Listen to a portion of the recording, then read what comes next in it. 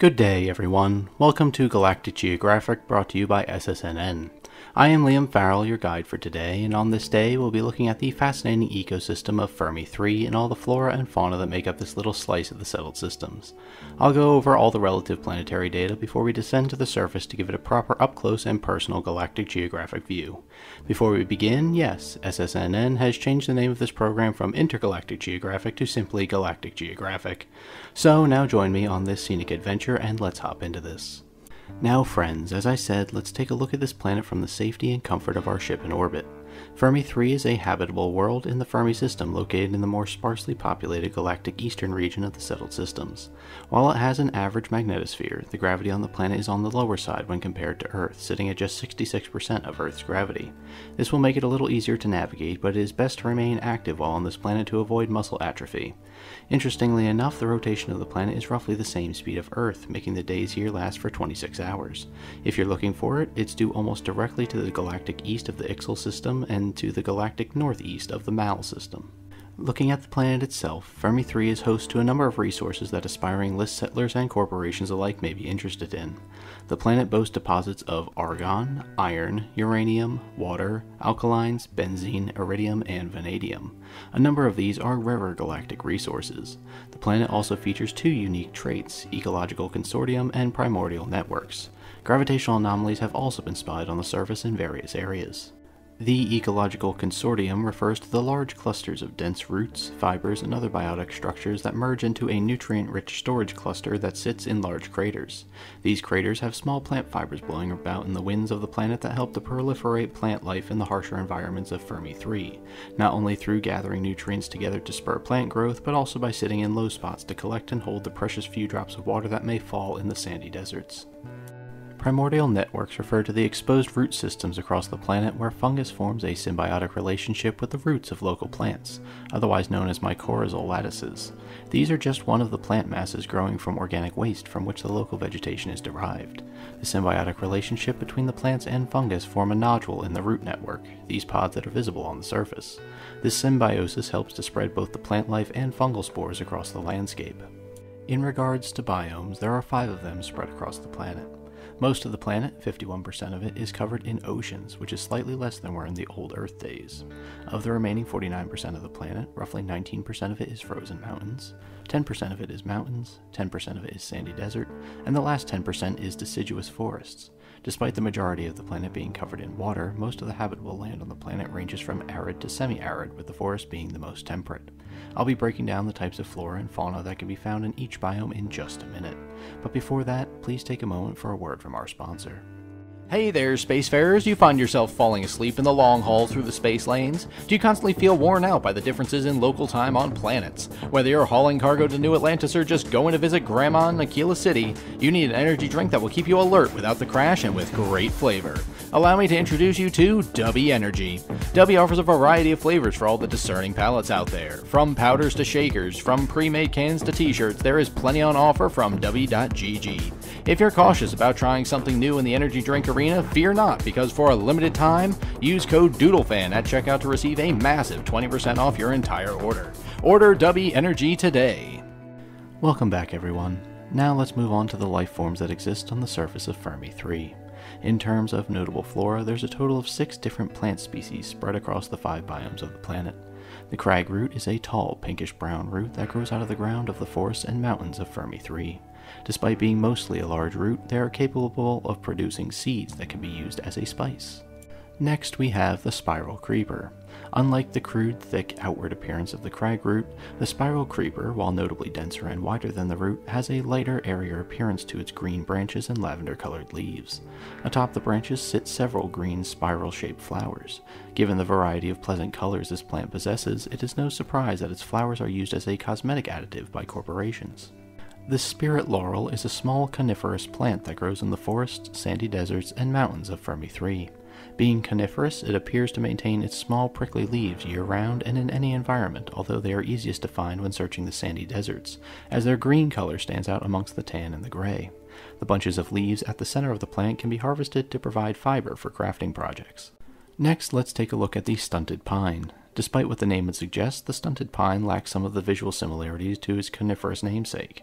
It has a mix of yellow and brown leaves on its rather short but full figured frame. These colorings also help it blend in rather handily with the other, lesser flora around it. More akin to a bush than a tree, the stunted pine does, however, produce cones at the top of its short branches. These pine cones, if you will, are filled with a rather nutritious sap, likely to give the seeds enough nutrients to germinate in the sandy deserts, cool mountains, or deciduous forests of Fermi 3. The sweet fumewort is a plant that upon first inspection does not appear to be in fact a plant. Instead, it almost seems to be a fleshy xeno egg of sorts. It has rough, ribbed skin that goes from dark purple to a lighter green as it grows upwards. Once it reaches full maturity after growing taller than a human male, a rather large seed pod will grow atop the fumewort. This pod is rather hardy and rough in order for the seeds inside to be safely transplanted in the soils of the sandy deserts and mountains of Fermi 3. Given the toughness of the pod and the harsher environments the plant exists in, the pods have roots growing out of them that can be used as a supplementary structural material should it be needed. The final plant of note on Fermi 3 is the Wanderer's Husk. Found in the deserts and mountains, the wanderer's husk has an appearance similar to that of the yucca plants of old Earth.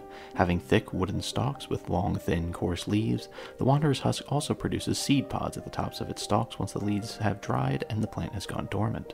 In a strangely disturbing fashion, the seed pods have the appearance of an upside down human skull.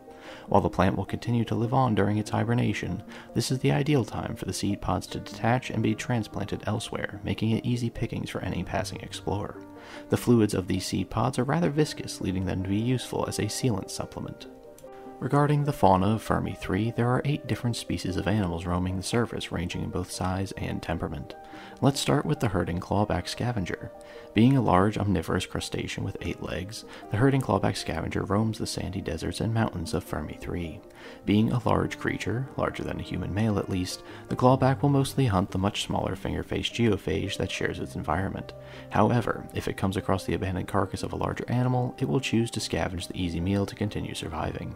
Its size, however, does not always save it from being preyed upon by the swarming cockroaches that dot the landscape. The bones of the clawback scavenger are rather robust in order to support its immense size. As such, they can be used as a supplementary structural material. After just being mentioned, the swarming cockroach is a true nightmare to behold. Standing as tall as a man and just as long, this naturally occurring abomination skitters about in deserts and mountain habitats on six strong legs.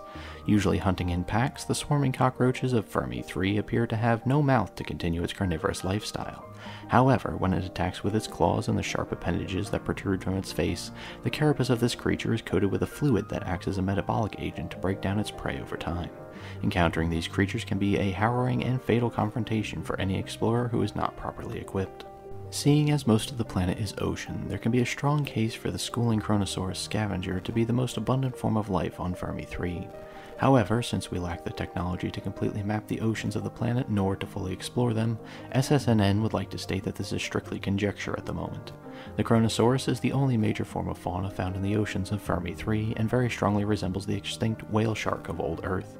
Having a long body with flippers where arms and legs would otherwise be, the Kronosaurus also features a large jaw filled with sharp teeth, a mandible of death for anything it can catch. Its six forward facing eyes also indicate that it is a predator in the freezing oceanic environment. Oddly enough, the bone marrow of the Kronosaurus is known to be highly toxic, so take care when handling the carcasses of these massive beasts. While the cockroaches hunt the desert sands and the Rocky Mountains, the hunting exorunner keeps the prey population of the forests in check. Being a large quadrupedal carnivore, not too dissimilar from wolves of old Earth, the hunting exorunner trades in the fur of a wolf for a hard layer of scales and a long snout for a tooth-lined beak. While some are as large as the extinct wolves, some can grow extraordinarily large, being taller than a human male even in a quadrupedal stance. Spikes run up the length of its back and down its tail that can both serve as a defensive weapon and for protection from would-be attackers while sleeping. Given the exorunner is the apex predator of its environment, there can be only speculation as to what predator of the past caused need for these adaptations. The soft tissue beneath the scales can be harvested and used as a hypercatalyst. The finger-faced geophage is unique amongst the fauna of Fermi 3 in that it is the lone inhabitant of the frozen mountains that make up almost a fifth of the planet's habitable surface. While it does also live in the deserts and mountains, it has no natural predators in the frozen mountains where the creature's population thrives despite the conditions. Being the first geophage discussed on this program, allow your host to elaborate on that word. A geophage is a creature that practices eating soil, clay, or other earth like substances, doing so perhaps not strictly for sustenance, but for supplementary nutrition of their diet, which lacks necessary minerals. The finger faced geophage derives its namesake from the head that protrudes from its short, fat, slug like body. It appears to have three fingers, if you will, that make up the creature's head as it slides across its habitats. The vital fluids of the creature, much like the sap from the wanderer's husk, can be rather thick and used as a viable sealant. The next creature to discuss is the shard hopper herbivore. A large insect akin to grasshoppers of old Earth, the shard hopper herbivore is also non aggressive towards humans. In fact, the only creature they seem to be actively hostile towards are the exorunners that inhabit their shared deciduous forest habitat.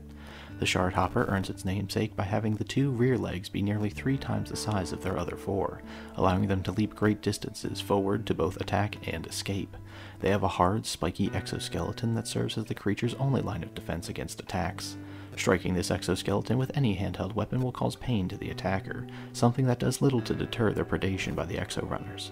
A variety of colors have been noted amongst the native shardhopper population, but it is currently unknown to Galactic Geographic whether or not this is caused by age, genetics, or sexual dimorphism. The hide that exists beneath the scales of the shardhopper are rich in amino acids.